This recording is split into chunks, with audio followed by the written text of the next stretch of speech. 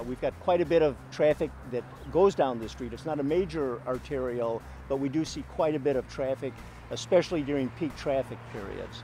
Uh, so we wanted to see if there was a way that we could perhaps calm some of this traffic.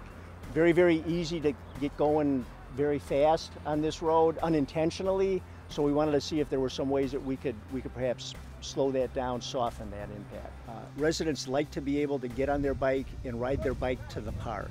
We've got a lot of parks in town. They're all in close proximity to our residential uh, developments, uh, and it just gives people the opportunity to get out, get in the air, uh, and enjoy a little bit of nature and some fresh air.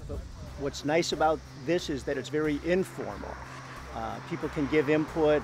Uh, and, it, and I think it, it increases the input that we get because it's on scene, it's on site, uh, and just somebody walking by has the opportunity to share their, their view.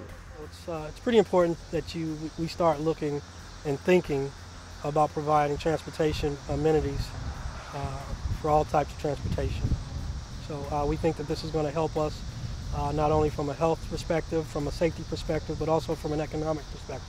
I've enjoyed today's event uh, as we've been working with the Active Transportation Alliance. You know, we talked about this as a, as a first test pilot project, but uh, definitely based on what I've seen here today, I'd like to showcase this in other parts of the community um, because it helps us with gaining community buy-in so that as we are uh, developing projects, people understand what we're trying to accomplish and the benefits of it and uh, have the community support.